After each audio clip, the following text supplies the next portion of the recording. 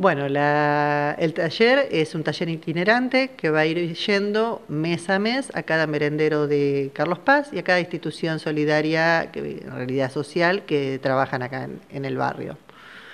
La idea del taller es en realidad acercar a la gente solidaria de la ciudad que no conoce todas las instituciones que hay a visitarlas. En vez de ir a eh, un día determinado que ellos están en actividad, nosotros proponemos una actividad extra donde la gente puede ir y sentirse cómoda, que no está interrumpiendo la actividad del lugar, sino proponemos un taller itinerante cultural, porque lo nuestro siempre es tratar de llevar cultura, eh, y que nos vayan acompañando y viendo dónde es el lugar donde la gente solidaria puede colaborar, para garantizar que todo lo que nosotros vamos juntando va a buenas manos que vean. Ahí tienen la posibilidad de ir, ver, chusmear, pero a su vez observar en qué más podemos ayudar.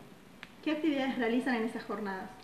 Esta primera vuelta, porque vamos a seguirla haciendo todo, todo el tiempo, pero empezamos con una, hacemos toda una ronda, cuando terminamos arrancamos con otro proyecto. Este primero viene de la mano de Jimena Fernández, que es la narradora de los, famosos cuentacuentos de aquí de Carlos Paz, y Jimena lleva su narración magistral, de verdad que es magistral porque los atrapa enseguida a todas las edades, eh, nos divierte mucho. Y después hacemos también unas eh, jornadas, unas pequeñas, un pequeño momento de juegos con los chicos.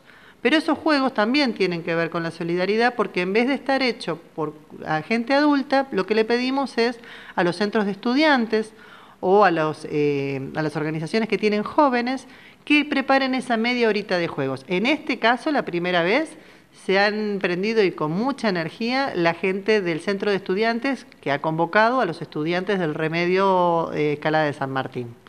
Estuvieron muy, pero muy bien los chicos y, la verdad que fue, fue una tarde maravillosa, fue una tarde maravillosa porque inclusive hasta los chicos llevaron a sus abuelas, o sea que ya se acercó la primera gente a, visitar los, los merenderos, gente que no está en contacto habitualmente, y después una merienda saludable, que es la intención nuestra, llevamos yogures que habían sido donados de Tregar, y cereales y también, eh, bueno, la leche y todas las demás cosas. Y se llevaron un libro los chicos. Eso también. Terminamos, culminamos una etapa. El año pasado habíamos hecho la colecta del libro que marcó tu infancia. Hemos juntado en esa campaña no la cantidad de libros que esperábamos, vamos a ser sinceros, porque teníamos 500 chicos más o menos que van a los merenderos de, de acá de Carlos Paz. Juntamos unos 150 libros. Entonces empezamos a pensar, no podemos regalarle uno a cada uno pero la verdad que esos 150 libros fueron verdaderamente maravillosos, porque fueron muy buenos textos literarios. Eh, cada uno de esos libros tenía unas historias espectaculares. A ver, desde Mujercita, si se quiere, hasta María Elena Walsh, o eh, de, verdad literatura que uno leyó de chicos que le gustó eh, y que valía la pena entregársela a las nuevas generaciones. ¿Cómo va a continuar esta de taller?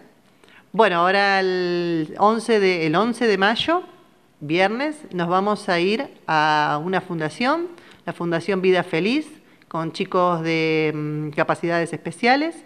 A ellos vamos a llevarles el taller de narración, ya es otra la propuesta en este caso, porque no va a ser, es abierto también, pero eh, los juegos y eso ya se encargan ellos de hacerlos. Nosotros lo que llevamos es el taller de narración y estamos dispuestos a lo que ellos necesiten. Eh, y después vamos a ir seguramente un sábado de la mañana al merendero Panza Caliente. ¿Cuál es la respuesta de, estos espacios donde ustedes van a compartir esta cultura? Bueno, en este caso eh, es eh, Silvia.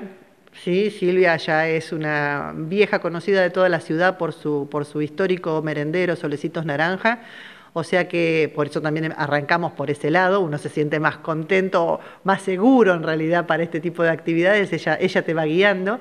Eh, pero la respuesta de los chicos fue, fue impresionante. Fue impresionante la expectativa cuando llegaban para ver qué era lo que íbamos a llevar y la expectativa a la salida cuando se estaban llevando sus libros. Estaban muy contentos porque los libros además ellos mismos los eligieron, ellos se tomaron su tiempo de verlos, de hojearlos, nosotros los íbamos guiando en qué era lo que tenían que fijarse, pero pudieron elegirlo, así que no, una, una muy buena expectativa y también en el caso de, Silvia y su, y su gente, eh, muy felices de, de poder abrir sus puertas.